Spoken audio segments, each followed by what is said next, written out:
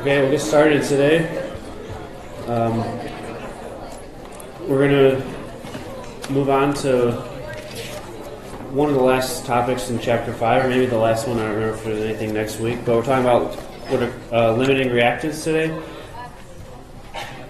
But before we get to that, um, I do want to review a couple things we did last time since we ran out of time at the end.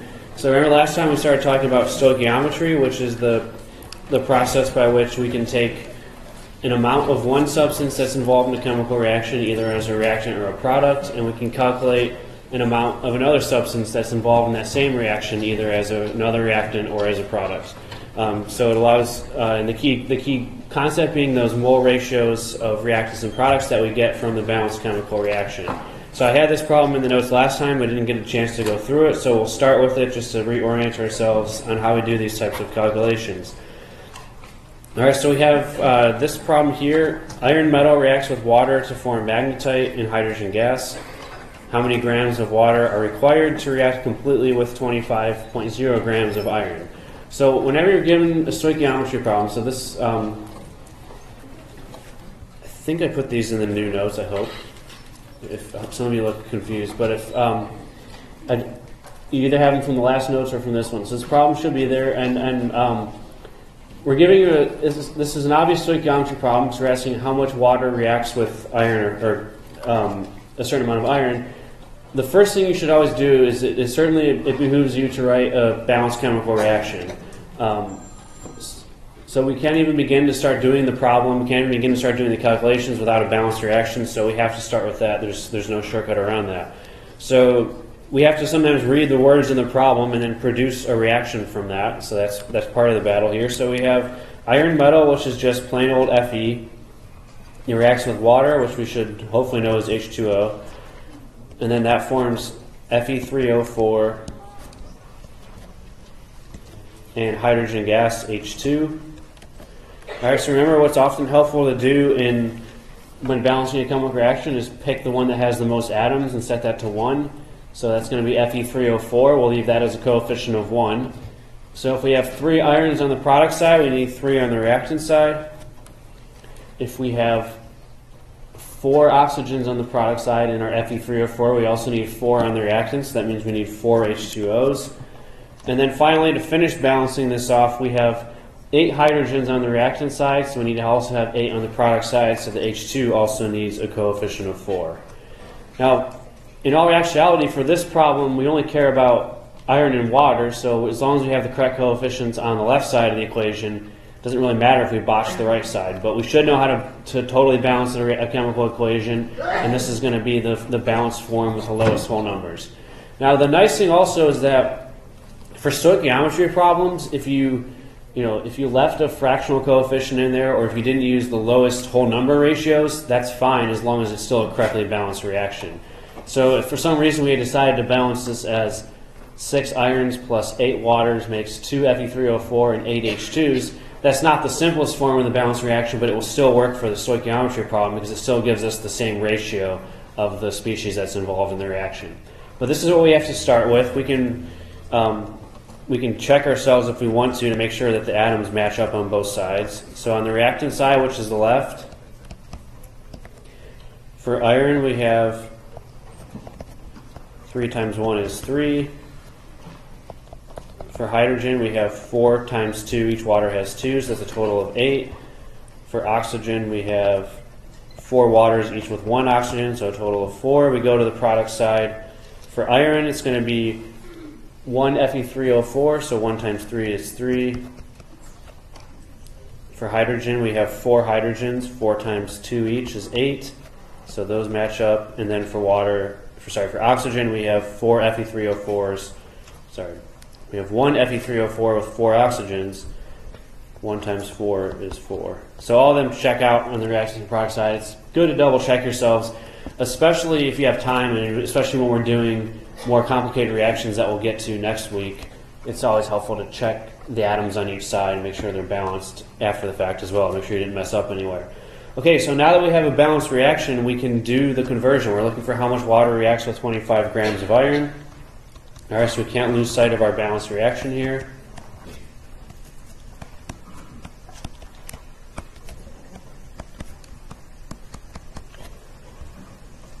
All right, so we're looking for the grams of water that are reacting. So that's what our, sort of our endpoint is going to be, grams of water.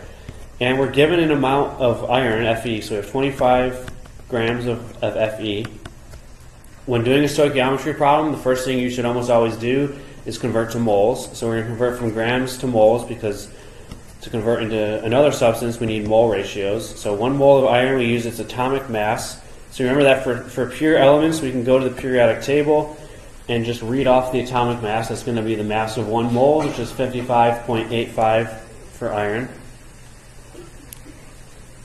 And we're going to divide by the atomic mass because we want grams to cancel and we want to end up in moles. Now we're in moles of iron, but we're interested in the amount of water that's required, so we're going to use the mole ratios for iron and water to convert between an amount for iron and an amount for water. So we use the, the coefficients from the chemical reaction. We want moles of iron to cancel out, and we want to convert into moles of H2O. So then the numbers that go into this ratio are just the coefficients in the chemical reaction. So iron has a 3 in front of it, so we put a 3 down here. Water has a 4 in front of it, so it's going to be 4 moles of water per 3 moles of iron. And then finally, the last step, we want to go into grams of water. So this is in moles right now, so we can use the molecular weight of water, the molar mass, which is given as 18.02. And again, do we multiply or divide? We want moles to cancel. We want to end up in grams of water. So we want the 18.02 to be in the numerator because molecular weights are always grams per mole. So it's 18.02 grams of water per one mole. So moles cancel out, and we're now left with grams of water, which is what we wanted to get to. So when we multiply those few steps across, we get 10.8 grams of H2O. All right, so this is a typical mass to mass stoichiometry problem where we start with a mass of one reactant and we ask you to find the mass of the other reactant that would also participate in that reaction.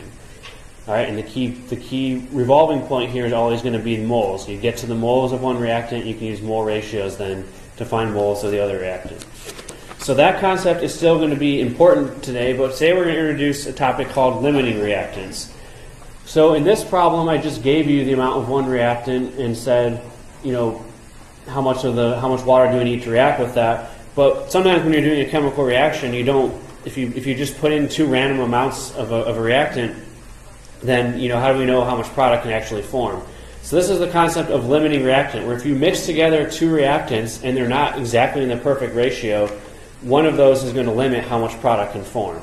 Okay, so we can do this in sort of a culinary ex- analogy. So if I were to try to make guacamole for the whole class, I would need a lot of ingredients.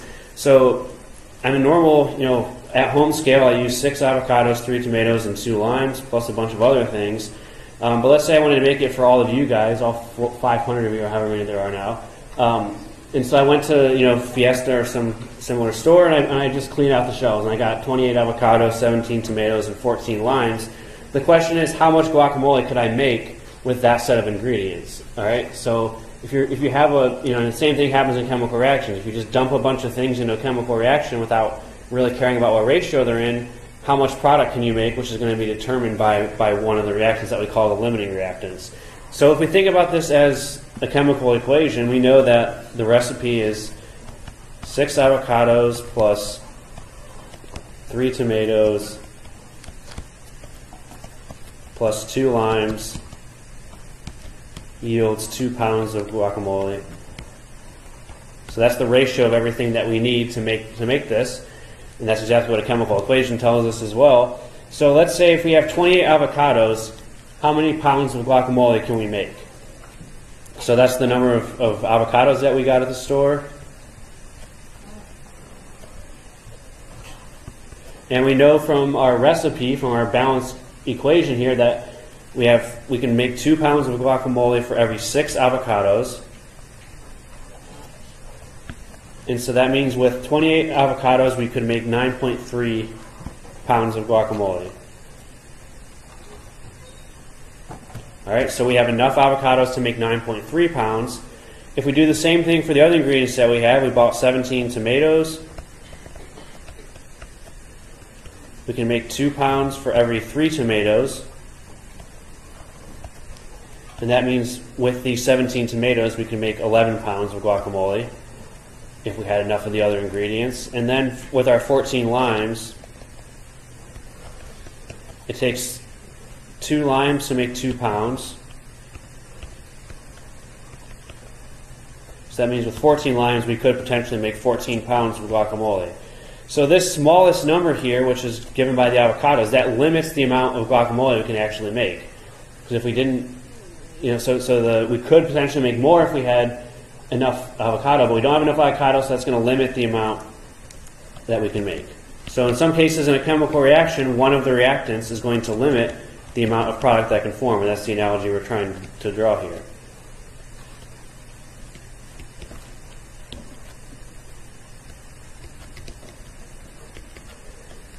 All right, so that's kind of a culinary analogy for limiting reactant where one of the ingredients limits how much you can make. So we're going to have, at the end of this, we're going to have extra tomatoes and extra limes. We're going to use all of our avocado to make 9.3 pounds, and that's the most we can make unless we had more avocados available. Okay, so that's kind of a cooking analogy for it.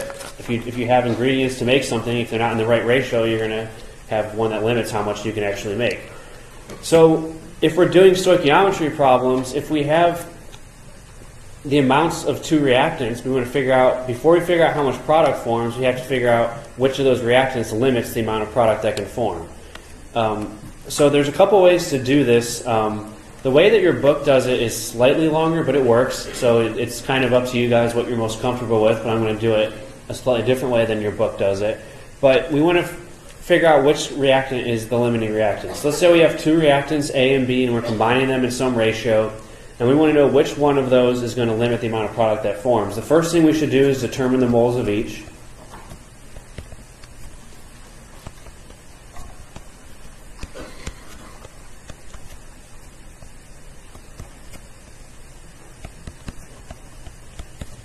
Let's call them A and B.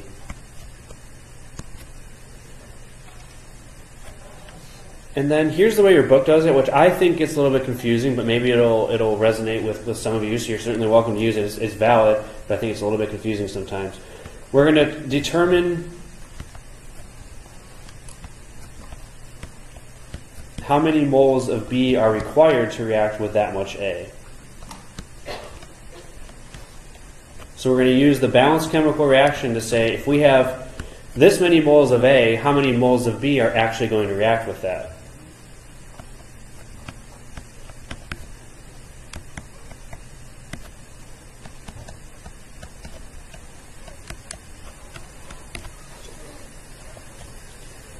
And then if the amount you calculate, and this is where I think it gets confusing because you have to remember this or, or rationalize this every time. Sorry, I should reword this a little bit. If the amount you calculate is less than the actual amount of B present,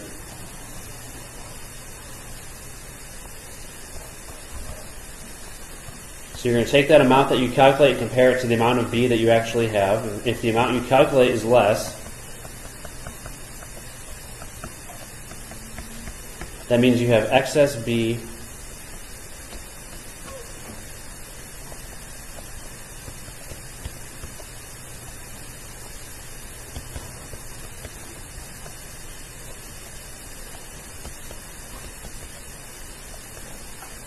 then that would mean A is limiting reactant.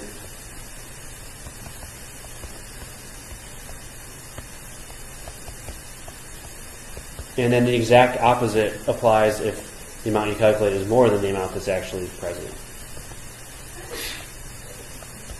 All right, so those of you that follow the textbook, you'll see that this is how they do it. I personally think it's a little bit extra work and a little bit more confusing than the way that I'm going to do it. So uh, I'll introduce it here, but I'm not going to use this in any of the problems that I do. The way that I'm going to teach you is the way that I was taught uh, many, many years ago, which is um, what's called the is called a stoichiometric ratio. So for each reactant, we're going to determine a stoichiometric ratio.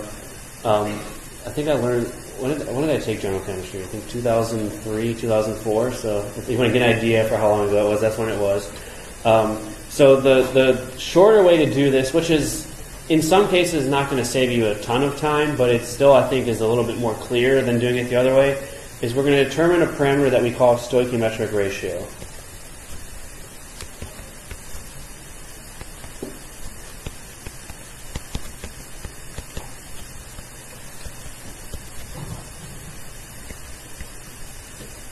All right, for each reactant.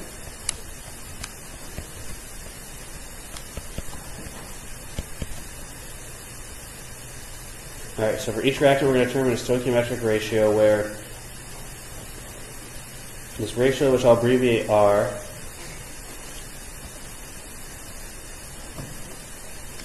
is going to be the moles of that reactant. So we still have to calculate the moles of each reactant. And then we divide the moles by the reaction coefficient for that reactant. So that's the number in the chemical reaction that tells you how many moles are involved. So this ratio is what we call the stoichiometric ratio. So we're going to get a number for each reactant, a stoichiometric ratio for each reactant. And the reactant that has the smallest stoichiometric ratio is the limiting reactant.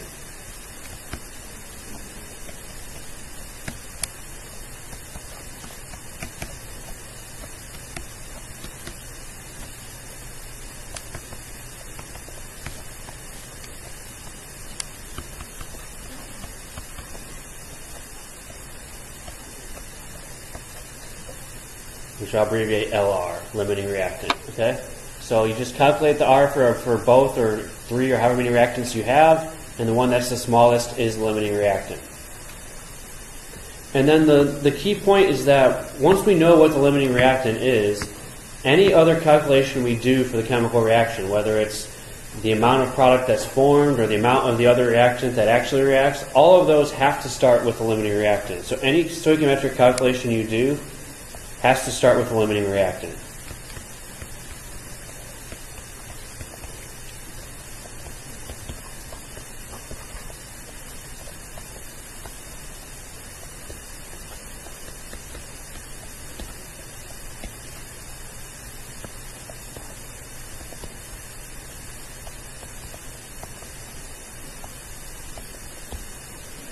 So that's what you have to remember after you find limiting reactant. The other important point, which I'll make over and over again as I do example problems, is that this stoichiometric ratio is a fairly fast and a fairly straightforward way of determining what the limiting reactant is. But once you do that, once it serves its purpose and tells you what the limiting reactant is, this number is pretty much useless after that. So don't use it anymore, basically. Use it to help you find what the limiting reactant is, but then from then on or forward, you don't need to use that number anymore. So don't, don't try to use it for anything else besides just telling you what the limiting reactant is. Okay? So a frequently asked question that, that comes up when we're, when we're introducing this topic um, is, you know, how, how do I know if I need to determine a limiting reactant? Because we did a bunch of stoichiometry problems last time. We did another one today where, you know, this wasn't even an issue. So, you know, sometimes it is, sometimes it isn't. How do I know when I have to worry about that? So the way that you know is um, if you're given amounts of two or more of the reactants, if we tell you you have you know this much A and this much B as part of the reaction, if we're giving you amounts of two or more, you must first determine which is a limiting reactant. So in all the problems that we did up until now, I only gave you the amount for one reactant, in which case you don't have to worry about limiting reactant because there's only one reactant where you know how much you have. But if you are given amounts of two or more, you have to determine which one's limiting first.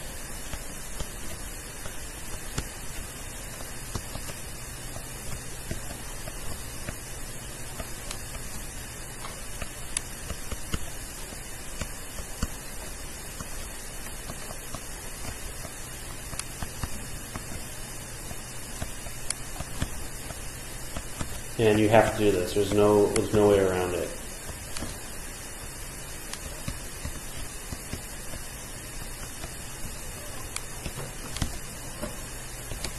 All right, so that's how you know if the, if the, if the problem gives you the grams or the moles or whatever, you know, any amount associated with two different reactants or more than two different reactants, you have to figure out which one is limiting first. And then any other situation, if you're only given an amount for one reactant,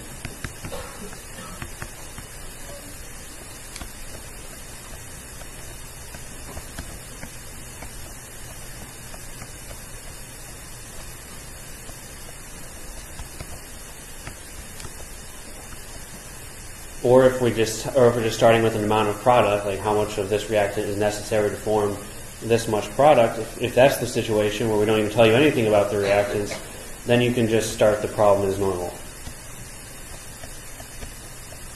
So you only have to worry about limiting reactant when amounts for two or more are given. And please always remember that.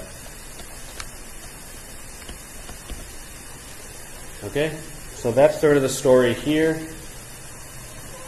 And now let's just do a bunch of examples of this and see how this works.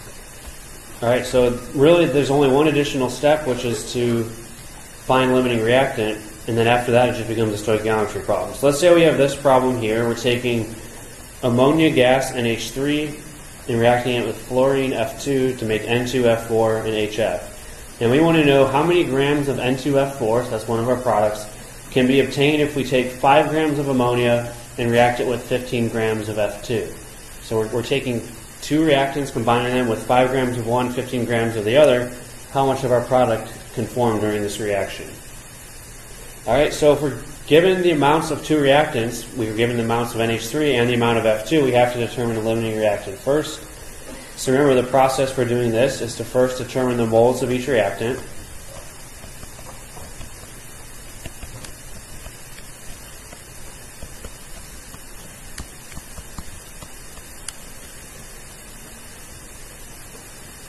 So this is just a mass to moles calculation that we've been doing over and over again. So the moles of ammonia, we have 5.00 grams of NH3 And the molar mass of NH3 is given as 17.0. So we divide by the molar mass. And that gives us 0.294 moles of NH3. And then we do the same thing for the other reactant, which is F2. So we have the mass of F2, so we can find the moles of F2. It's 15 grams of F2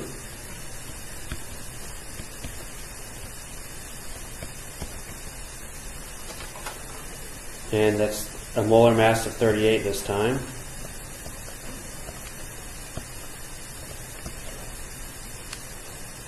Zero point three nine five moles of F2.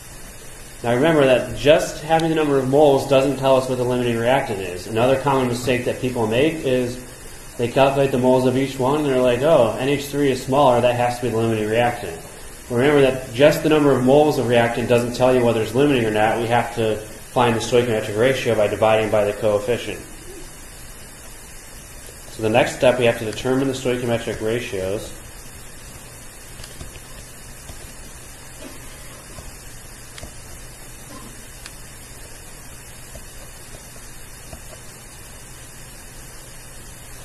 So the stoichiometric ratio for our first reactant NH3 we take the moles of that reactant, so that's this number here, 0.294,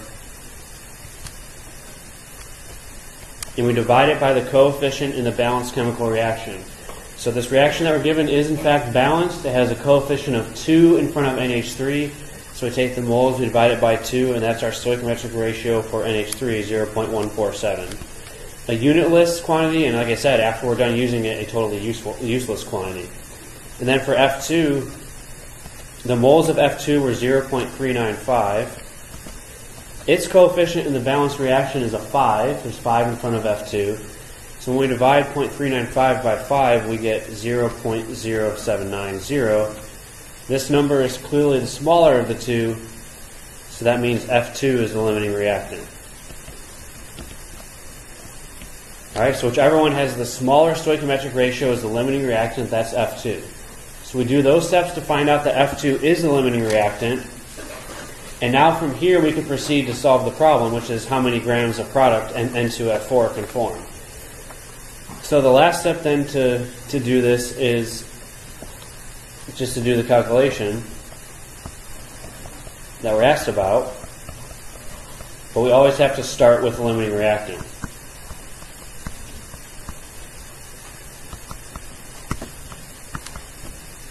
As part of the process for determining that F2 was a limiting reactant, we had to convert, we had to con- calculate the moles of F2. So if we're looking for the grams of N2F4 that form, we can start with the moles of our limiting reactant. So up here we calculated that there are 0.395 moles of our limiting reactant, so we can use that as our starting point. We could also start with the mass of limiting reactant, but that's basically undoing one of the steps that we already did. So we have 0.395 moles of F2 And now we can convert into moles of product N2F4 by using the stoichiometric ratios, the, the coefficients in the chemical reaction. So we want moles of F2 to cancel, and we convert into moles of N2F4. So the coefficient for F2 is 5, the coefficient for the product N2F4 is 1. So it's a 1 to 5 mole ratio. And then we're asking about the mass of N2F4 that's forming, what, how many grams of N2F4, so we have to multiply then by the molar mass, which is 104. So it's grams per mole.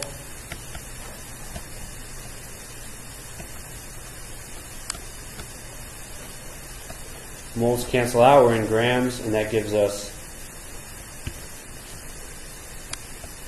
8.22 grams of N2F4.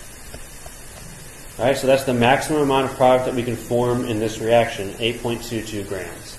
And that's determined by starting with the limiting reactant and calculating out then how much product can form.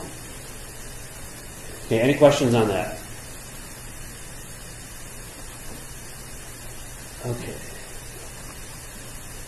And then one other question we could ask you on these now is how many grams of excess reactant remain after the reaction?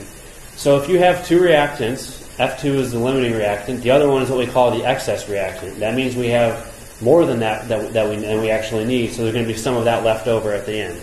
So NH3 is going to be our excess reactant. And that means after the chemical reaction is finished, after all of our product has formed, after all the F2 has reacted, there's still going to be some NH3 left over.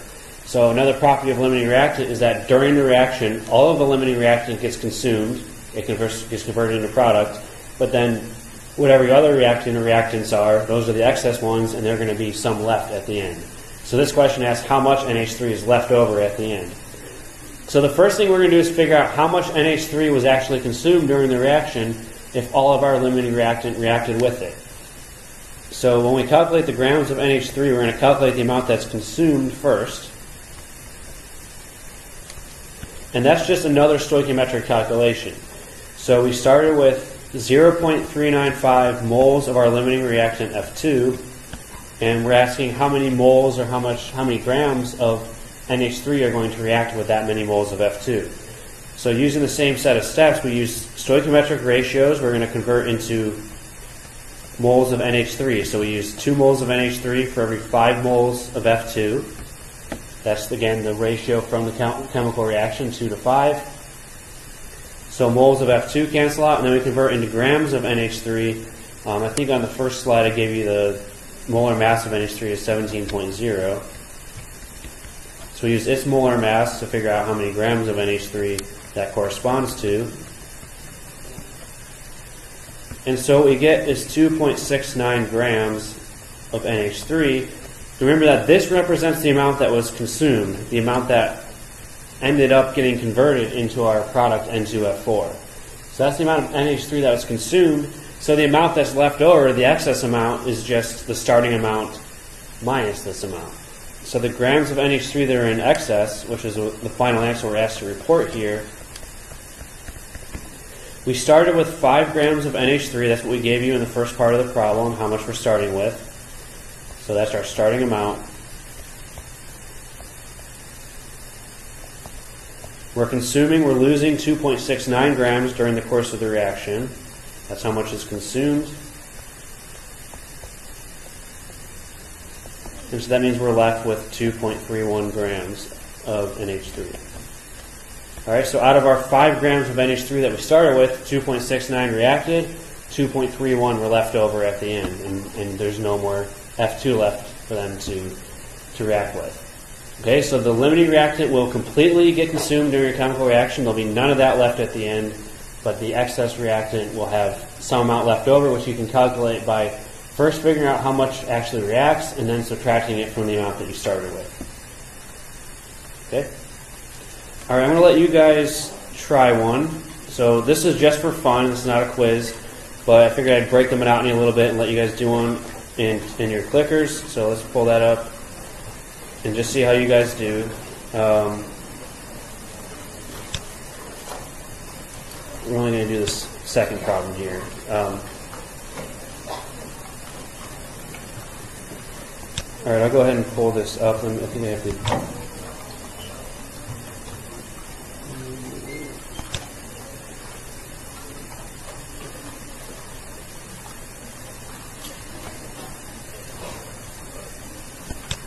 This is, all right, start session.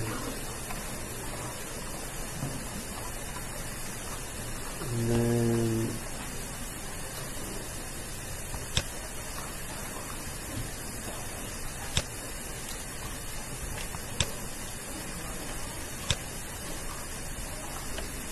All right, so we're, we're doing how many of this is theoretically attain, obtained? That's probably not enough time. I'll give you more than that.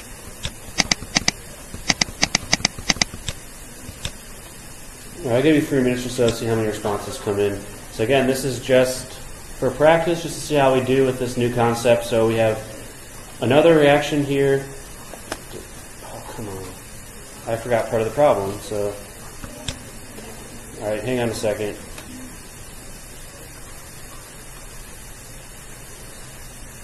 Oh, shoot.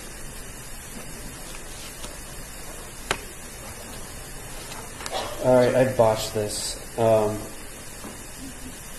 all right, I, I have it here. Sorry, give, give me a second to correct my silly mistake. So we have.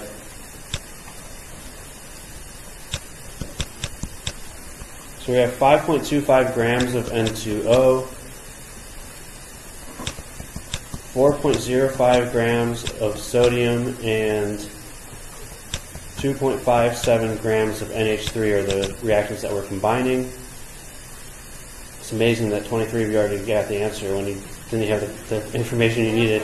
Um, so this one is, and then the molar masses are going to be in parentheses here 44.01, 22.99, which is just its atomic mass, and then the one we just saw, 17.03. Okay, so that's the amount of each reactant we're combining. That's their molar masses. We want to know how many grams of NaN3 sodium azide are theoretically obtained. Okay, so see how we do with that. Sorry for leaving part of the question out.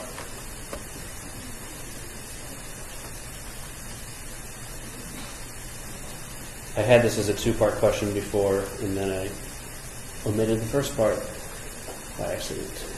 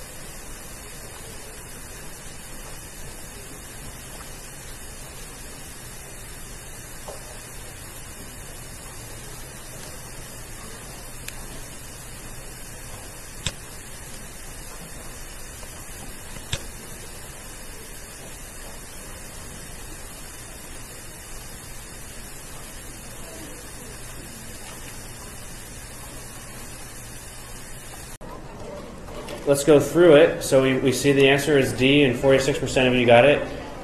So these problems are involved. Okay, so we have to, you know, become efficient at doing them because obviously, in an exam situation, you have roughly, you know, three to four minutes per question. So we have to go through the steps in a pretty ordered and efficient way.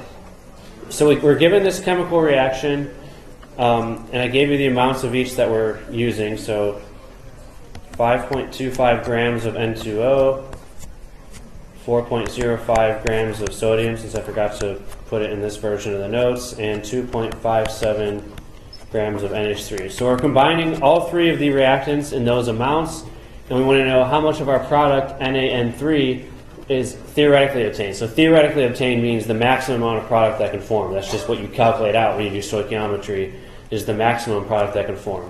So the first thing we have to do is figure out the limiting reactant. So we start by calculating the moles of each reactant. So for each of the three reactants, we have a mass amount, we're going to convert that into moles. And this should by now be a very familiar calculation. So we have 5.25 grams of N2O, The molar mass of N2O is, uh, well, given as 44.01, at least in my version, it's 44.01. Sorry, you don't have that. Uh, so that's the molar mass of N2O. So we have 0.119 moles of N2O. We calculate its stoichiometric ratio by taking that amount, 0.119, and dividing it by the coefficient in the chemical reaction, which is a 3. There's a 3 in front of N2O.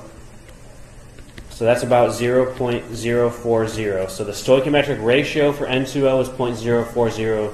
And remember, we're going to calculate that for the other two reactants to compare them to find out which one is limiting. So now we do it for sodium, 4.05 grams. The atomic mass of sodium, which you can get off the periodic table, is 22.99. So we have 0.176 moles of sodium, and the stoichiometric ratio for sodium, R, is going to be 0.176 divided by the coefficient. So for sodium, that's a 4. So this comes out to 0.044, so only slightly bigger than the first one, but that means that sodium cannot be the limiting reactant. The stoichiometric ratio is slightly larger than the first one. And then we go and do the third reactant, so NH3. You have 2.57 grams. The molar mass is 17 for NH3, or 17.03 for being really precise.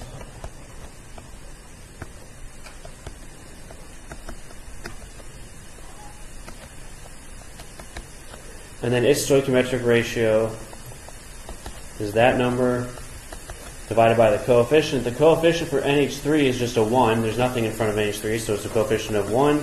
So that means its stoichiometric ratio is 151, which is much higher than the rest. So the one of these that's the absolute smallest, which is N2O, is going to be our limiting reactant. All right? So we've identified N2O as a limiting reactant. And now when we want to calculate the amount of our product that forms, NaN3, we have to use this as our starting point. This molar amount, 0.119. So I have to add a page here. Give me a second.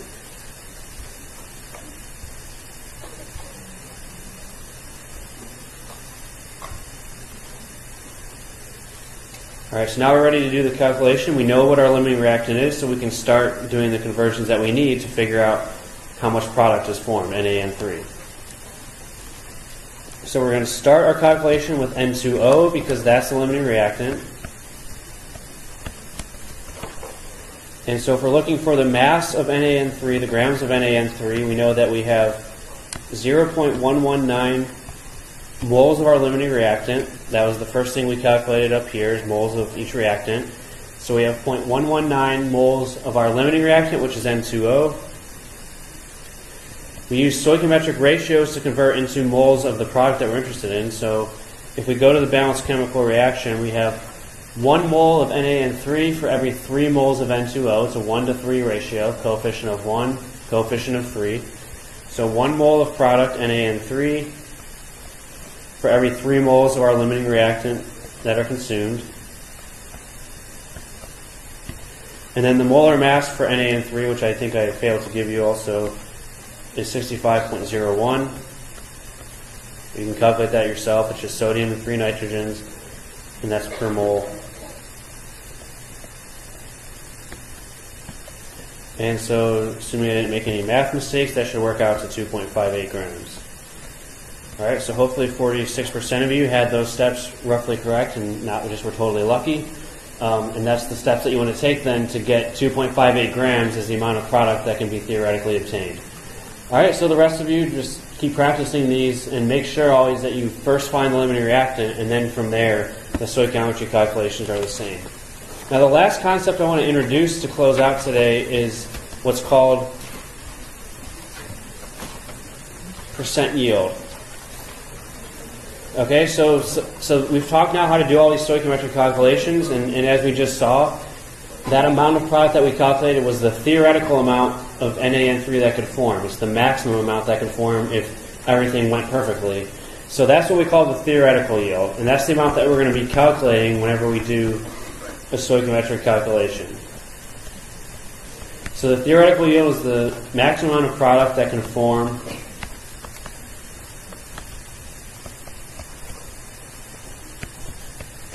and that's when all of the limiting reactant is consumed.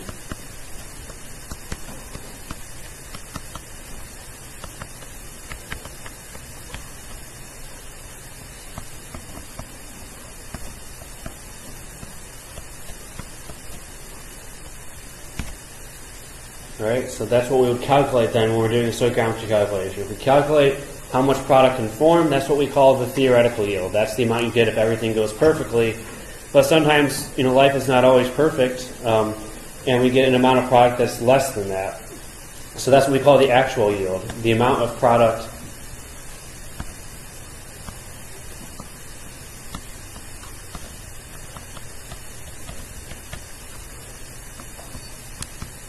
that is obtained experimentally. So if we go into the lab and do the chemical reaction and measure how much product do we get, you know, this is the amount that we call the actual yield. And keep in mind, this is a measured quantity, so there's not really a way to calculate actual yield unless we gave you, you know, percent yield, as we'll, as we'll in a second. But in general, we can't calculate this. This is an experimental quantity. This is, if you guys have done a chemical reaction in your chem lab, you go to the lab, you do the reaction, you measure out or weigh out the amount of product that you make, and the amount that you record in your notebook is the actual yield for that reaction.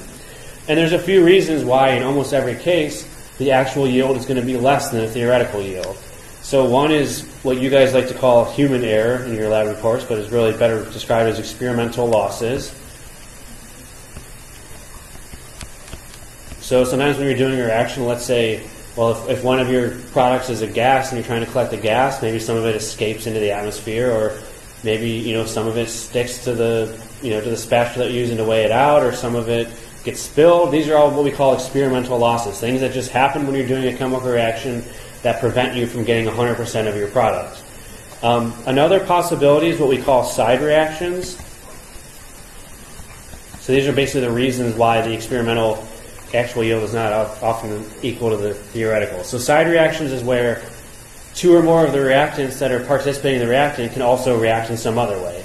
So you can get a whole, you know, it's basically two reactions happening at once.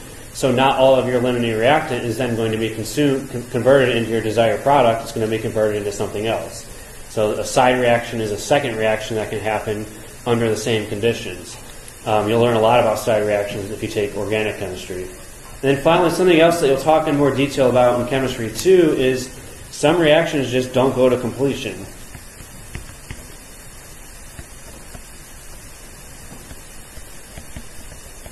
In other words, the best you can do is that only some of your limiting reactant reacts to form the product, but there's always going to even be some limiting reactant left over that just doesn't convert all the way into the product. And that's what we call an equilibrium or an incomplete reaction, which we're not going to deal with in this course, but you guys will talk about a lot if you take chemistry too.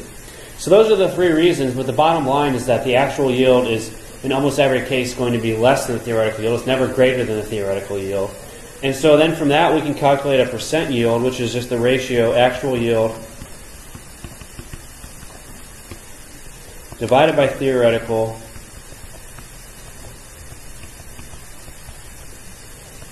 times 100. So it's a percent, so we have to multiply that ratio by 100.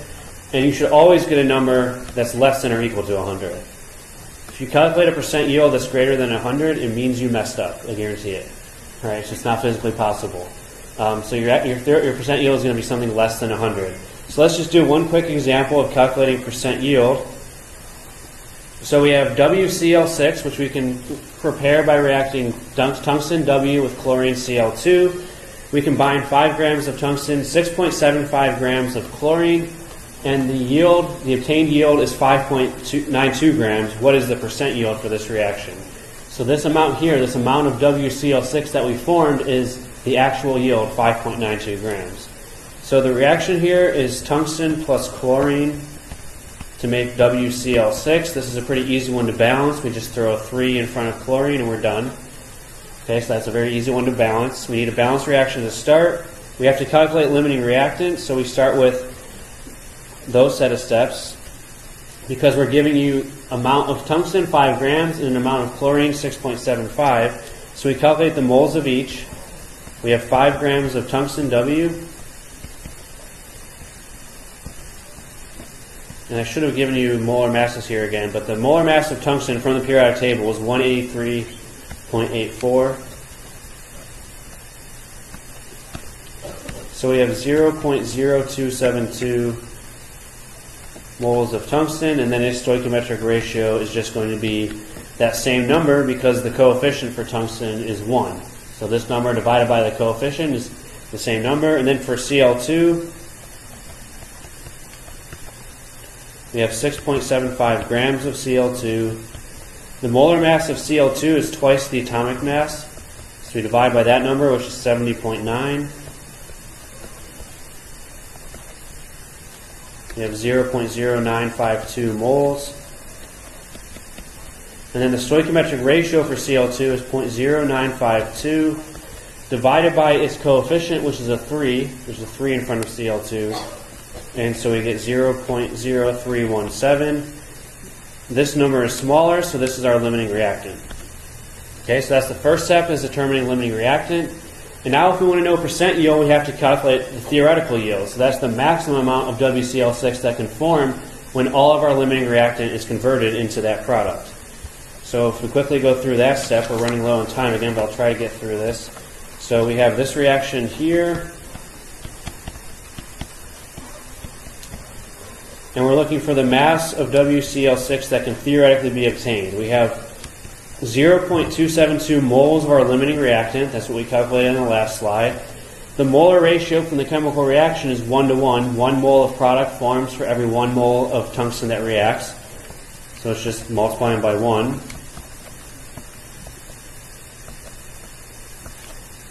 And then finally, the molar mass of WCl6, which I guess I gave you on this page, 396.54.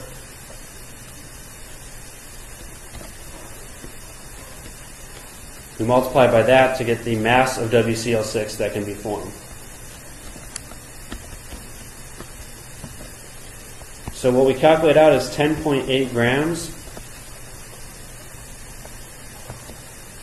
And that represents our theoretical yield. So that's the maximum amount of WCl6 that would form if all of our limiting reactant were completely converted into this product. Okay, so that's our maximum theoretical yield. And then finally, for percent yield, we just have to divide the two.